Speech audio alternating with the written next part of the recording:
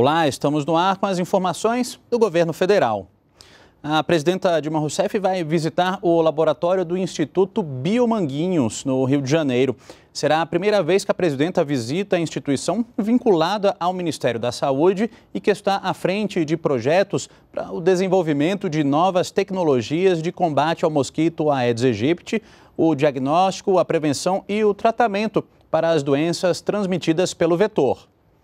E hoje, em Brasília, foi realizada mais uma reunião para checar as ações de combate ao mosquito Aedes aegypti e de enfrentamento à microcefalia.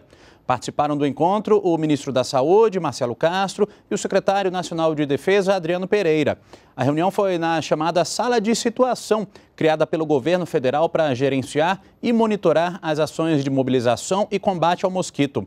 Os estados enviam semanalmente dados sobre a mobilização.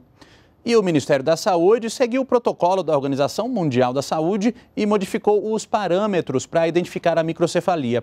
Agora, a medida para meninos é de 31,9 centímetros e para meninas, 31,5 centímetros. O ministro Marcelo Castro afirmou que o Brasil vem seguindo todas as orientações da OMS, inclusive advertindo as grávidas a fazer sexo seguro e evitar viajar para países com o vírus da Zika. Recomendando às pessoas né, para procurarem evitar é, irem para países onde tem a zika de maneira endêmica, uma recomendação dirigida especialmente às gestantes. E também que foi o ponto assim mais forte da recomendação da OMS é que as gestantes é, fizessem, procurassem fazer sexo seguro né, com parceiros que sejam de áreas endêmicas da Zika, porque é prudente devido a se chegar é, que há fortes indícios né, de que a transmissão sexual da Zika pode ser mais frequente do que inicialmente os cientistas supunham. E ainda falando desse assunto, o governo realiza amanhã uma grande mobilização de combate ao mosquito Aedes aegypti nos prédios públicos federais. A iniciativa está sendo articulada pela Casa Civil e pelo Ministério do Planejamento, Orçamento e Gestão e vai intensificar as vistorias nos imóveis federais. Haverá também uma mobilização dos governos estaduais e municipais. Serão realizadas ainda ações mais intensivas em 223 municípios, escolhidos com base na ocorrência de dengue e na população superior a 50 mil habitantes.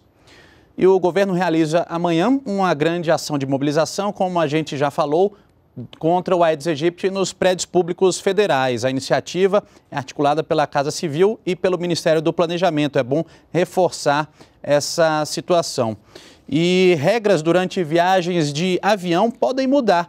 A Agência Nacional de Aviação Civil, ANAC, vai realizar audiências públicas com a revisão das regras, como a redução do prazo de reembolso. Ana Gabriela Salles tem mais informações.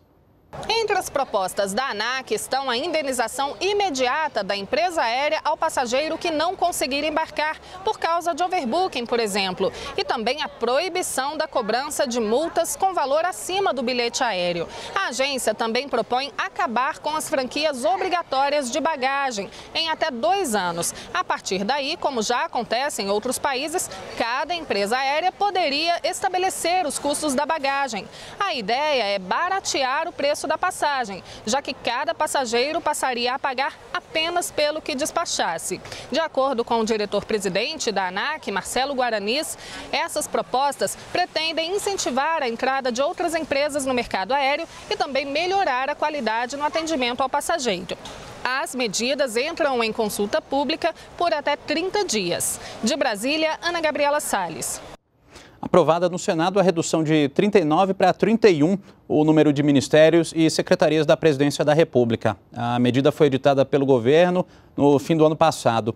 Um dos objetivos é reduzir os gastos. A proposta segue agora para a sanção presidencial. E hoje o ministro da Fazenda, Nelson Barbosa, falou que o governo trabalha para manter a retomada do crescimento. Com medidas de crédito e ações fiscais, adotadas nos últimos meses, nós estamos procurando estabilizar a renda no curto prazo. Já há alguns sinais de estabilização em alguns setores, mas, segundo as nossas projeções, a perspectiva é que a economia se estabilize no terceiro trimestre e volte a crescer no quarto trimestre. Com reformas fiscais e regulatórias que garantam a recuperação fiscal, nós esperamos, com isso, aumentar a confiança dos agentes econômicos, das famílias e das empresas, para que elas voltem a consumir, voltem a investir como no mesmo ritmo anterior. E isso depende da redução da inflação, que por sua vez depende do equilíbrio fiscal.